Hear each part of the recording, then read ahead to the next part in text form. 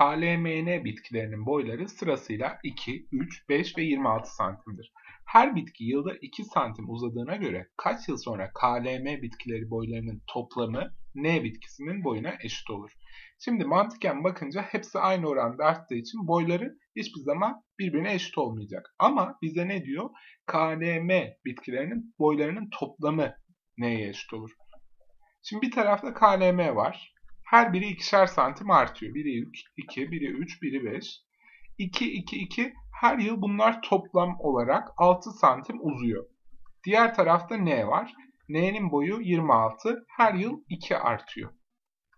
Bir tarafta her yıl boyları toplamı 6 santim uzuyor. Bir tarafta N 2 santim uzuyor.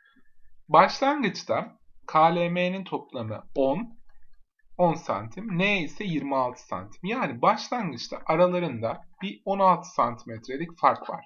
Bunların toplamıyla N'nin arasında 16 santimetrelik fark var.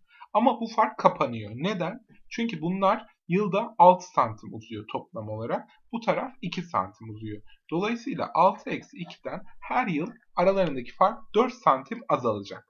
E benim aram zaten arada 16 santimetre vardı. Bu 4 4 azalırsa 4 yılda biter. Demek ki kaç yıl sonra diyor? 4 yıl sonra bu üçünün boyları toplamı n'nin boyuna eşit olur. Niye böyle dedik? Çünkü bir tarafta 10 santimli toplam, diğer tarafta 26 idi.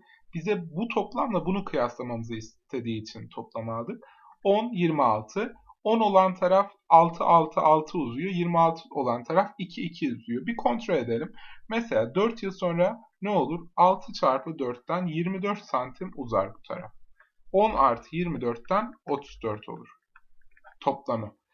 Bu taraf ise 4 yılda 2 santimden 8 santim uzar. 20, 26 artı 8 yine 34 santim oluyor. Demek ki doğru çözmüşüz. Cevap 4.